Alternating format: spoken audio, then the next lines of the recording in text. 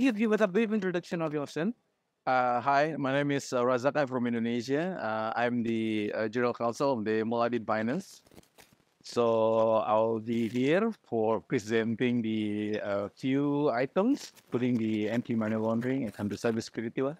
So how do you see this evolving industry in next five years? Oh, sounds really good because at the moment right now we are trying to digitize everything, including from the uh, loan application, and also we are trying to see whether we could uh, enter into a new ecosystem, for instance, like EV, electronic vehicle. So it's gonna be a lot of stuff. So which part of conference do you like the most till now? A- at the moment, Yeah, till now. oh, okay. So the first half uh, of this event is really uh, vibrant. I mean, everyone was very interesting to to asking question.